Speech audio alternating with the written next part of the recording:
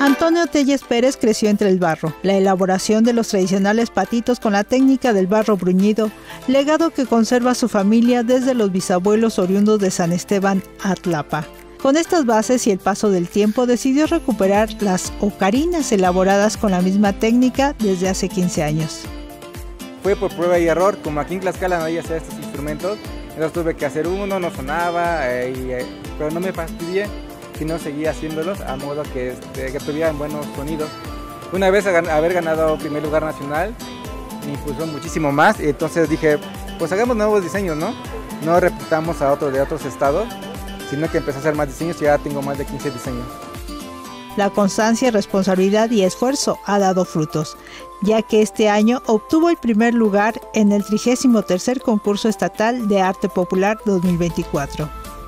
Soy el pionero de Tlaxcala, el primer artesano en traer este instrumento de nuevo a la vida.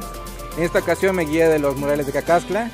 Son unas ocarinas con forma de mazorca, pero también con cara de, de aquellos indígenas que estaban este, en ese tiempo plasmados en los murales.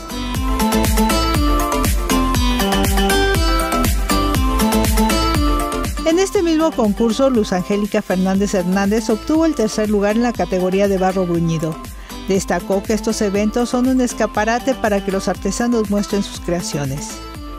Este año metí una pieza que la cual titulé Pato Venado Gigante, con lo cual es la mezcla de un pato tradicional. Lo único que diferente es que traería el realismo de los cuernos de un venado.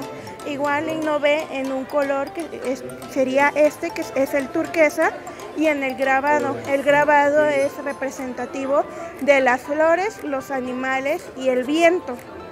Por ejemplo, su acabado es alisado o bruñido. Mencionó que los pocos alfareros que aún se dedican a este oficio en Atlapa crean figuras innovadoras, clásicas o tradicionales.